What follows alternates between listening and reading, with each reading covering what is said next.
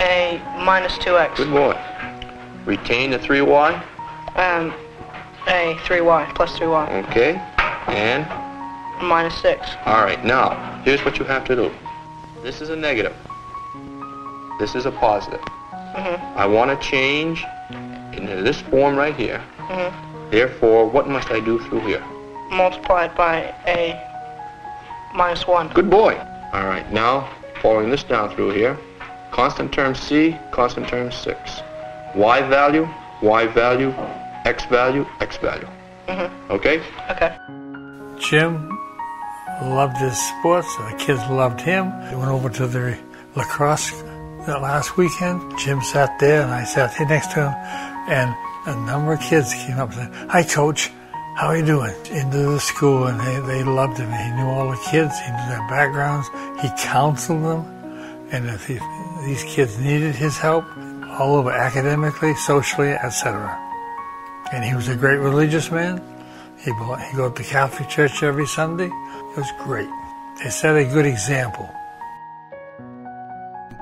We know the cliche uh, of coaches that we love to play for. We call them uh, players coaches. Coach was was was a coach's AD. He would you would as a coach run through a brick wall for this AD because you knew he would do anything for you to support you.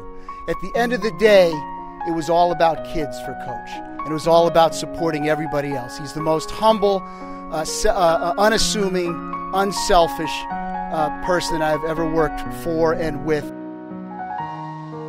He was a he was a father figure for me. He uh, he taught me a lot of life's lessons. He gave me a good kick in the butt when I needed it, uh, but he was always there uh, with his typical love and care and kindness uh, to support me and to provide advice.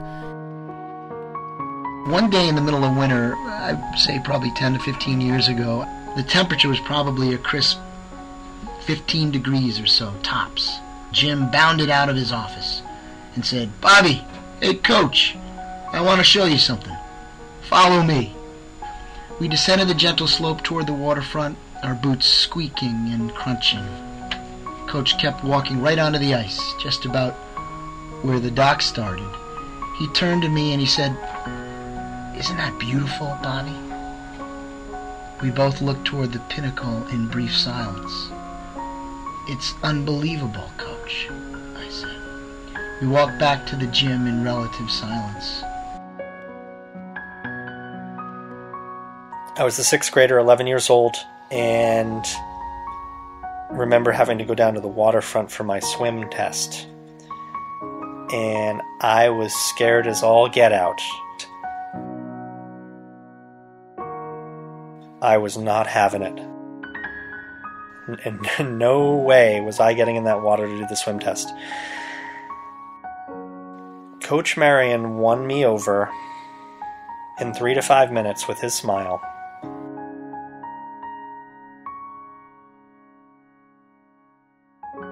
And in I went and did my swim test.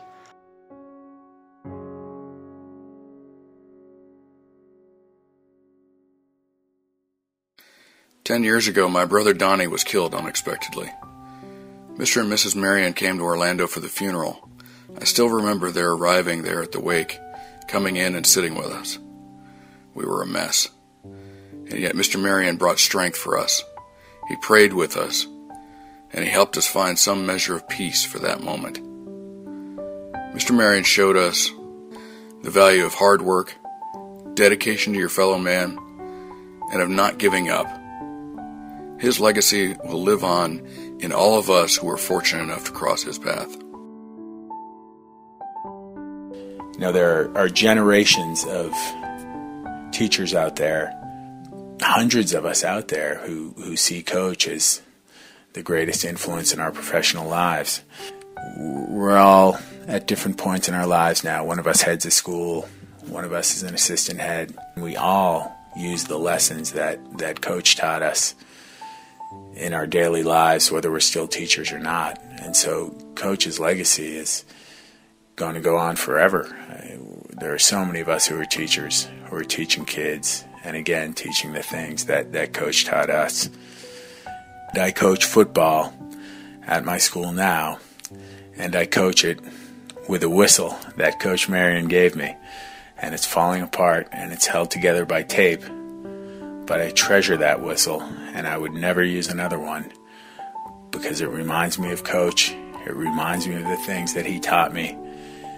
And every day I strive to live up to his legacy. And that whistle is just a, a small, tangible part of that.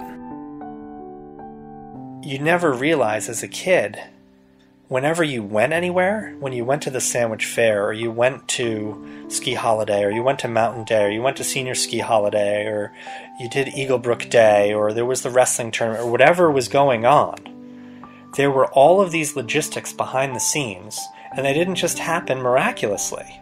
Someone was responsible for those things, and Jim was the person that took care of a lot of those details all the time. To think about how he was able to manage all of these different schedules and for the for the kids, it just amazes me as I think about it. Uh, I was lucky enough to know Coach for 47 years, and over all that time, one thing was very much constant. Uh, it didn't matter what was going on around him or how bad his day might be going. He always had that infectious, positive attitude, and, and you knew it was genuine because of that wonderful smile. Uh, we loved the man, and we'll miss him dearly. Uh, God bless you, Coach. Now, by that I mean you must put 5y cubed, and when you're combining the sums right here, under the negative 6y cubed, you must put the power under the power, or exponent, the proper exponent under the proper exponent, like cubes under cubes, squares under squares, and straight down through. Oh, you follow that? I think we'll, we're all better people for having known Jim and been able to share in his life and who he was as a person.